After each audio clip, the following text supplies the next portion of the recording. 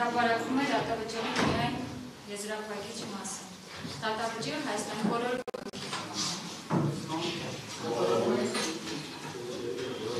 Դատավճիռ Հայաստանի Հանրապետության անունից։ Երևան քաղաքի Աբեջի Ացյանի ինքնավիրավորության քրական դատանը վճռեց։ Մեղադրյալ Նարեկ Բորիսի Մարյանի մեղավոր ճանաչել է քրական ունեցկրկի 329-րդ հոդվածի երկրորդ մասի երրորդ կետով նախատեսված արարքի կատարման մեջ եւ նրա նկատմամբ պատիժ նշանակել ազատազրկում 1 տարի ժամկետով։ Նրա քրական ունեցկրկի 79-րդ հոդվածի երրորդ մասի հիման վրա հաշվարկցել Նարեկ Մարյանի անազատության մեջ գտնվելու ժամանակահատվածը 2023 թվականի սեպտեմբերի 20-ից մինչև 2024 թվականի ապրիլի 12-ը եւ նրա նկատմամբ վերջնական պատիժ սահմանել ազատազրկում 5 ամիս 7 օր ժամկետով։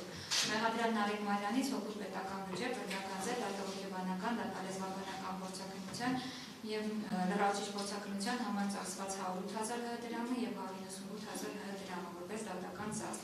Մեղադրյալ Նարեկ Մարյանի նկատմամբ տրված խափանման միջոցը կալանքը թողնել ամբողջ մինչև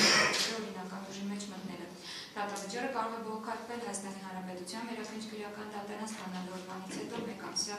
ժամկետում։ Դատավճիռը բողոքարկվի պատրաստ Thank